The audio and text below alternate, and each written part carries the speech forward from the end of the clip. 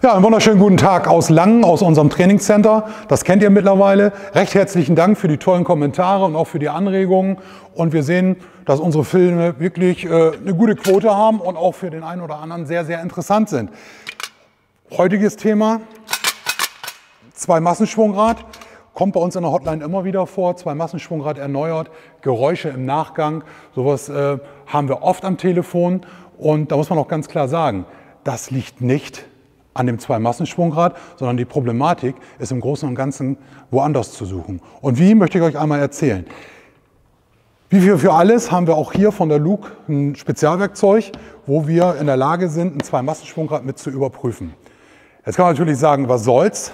Ja, wenn ich heutzutage eine Kupplung erneuere, man spricht bei 100.000 Kilometer von ca. 1,5 Millionen Kupplungsbetätigungen im Mix, das heißt Stadt, Landstraße, Autobahn. Und wenn man so eine Kupplung heutzutage neu macht, sprechen wir von 200.000 Kilometern, sprich 3 Millionen Kupplungsbetätigungen. Und äh, wir haben ja hier nichts anderes in so einem Zwei-Mussen-Schwungrad wie einen Dämpfer. Und da möchte ich einmal so ein Beispiel nennen, und zwar, wenn ich das mal vom Stoßdämpfer ableite. Ja, wenn ich jetzt einen Stoßdämpfer mit Straßenzulassung habe und ich, ein Fahrzeug mit Straßenzulassung und fahre brutal durch Schlaglöcher, dann sagt der Stoßdämpfer irgendwann am Ende des Tages, habe ich keine Lust mehr zu und geht kaputt. Und so ist es natürlich auch hier. Weil äh, so ein Zwei-Massenschwungrad, dieser Dämpfer, der dämpft die Drehungleichförmigkeit des Motors. Und ihr wisst, es gibt viele, viele Ursachen, die die Drehungleichförmigkeit beeinflussen können. Zündaussetzer, sei es äh, Spiel im Getriebe und so weiter und so fort, die das natürlich negativ beeinflussen. Auch Chip-Tuning, das geht zwar schnell nach vorne, beeinflusst aber die Lebensdauer eines Zwei-Massenschwungrads. Weil dieses Zwei-Massenschwungrad ist grundsätzlich auf den jeweiligen Motor abgestimmt.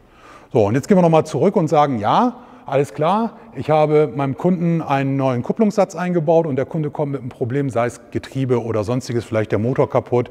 Und ich muss jetzt sagen, beurteilen, kann ich das hier nochmal verbauen. So, und da gibt es für uns immer eine ganz klare Aussage, Spezialwerkzeug, sach- und fachgerechte Prüfung. Es ist aber oftmals so, das Werkzeug hat nicht jeder und deswegen möchte ich euch einmal für euch in der Werkstatt zeigen, wie kann ich da ganz schnell mal eine Aussage treffen. Und zwar wenn ich jetzt hier beigehe und drehe einfach nur normale Schrauben hier rein. Jetzt nehme ich natürlich hier in dem Fall äh, unsere Adapter, die wir in unserem Spezialwerkzeug haben.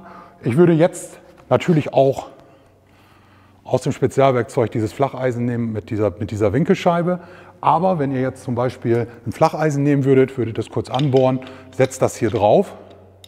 Dann habt ihr nämlich genau den gleichen Hebel. Und jetzt gilt es, hier eine Überprüfung zu machen.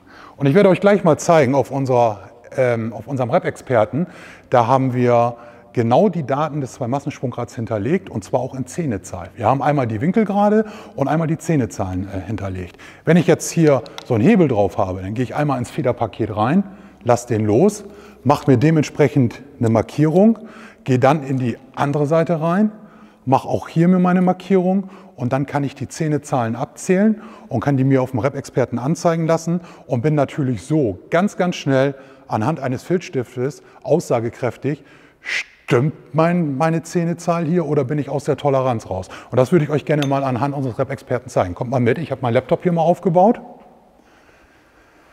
Die Startseite kennt ihr mittlerweile. Ich kann hier dann dementsprechend äh, einmal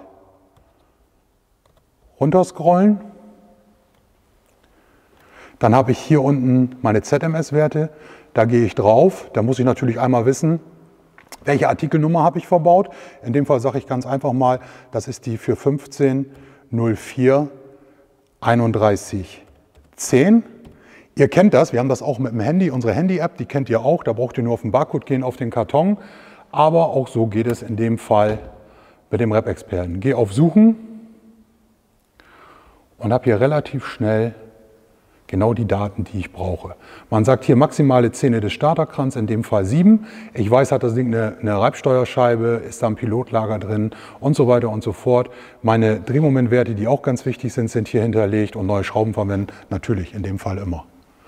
Und gerade beim Zwei-Massenschwungrad möchte ich nachher nochmal in einem zweiten Teil darauf zu sprechen kommen. Ihr könnt hier sehen, wir haben hier ein Schnittmodell Zwei Massenschwungrad mit Fliehkraftpendeln hört sich gewaltig an, ist aber in Ordnung, zeige ich euch im nächsten Teil. Wenn es euch gefallen hat, wie immer, Daumen hoch. Wir sagen Dankeschön und bis bald, euer Jens.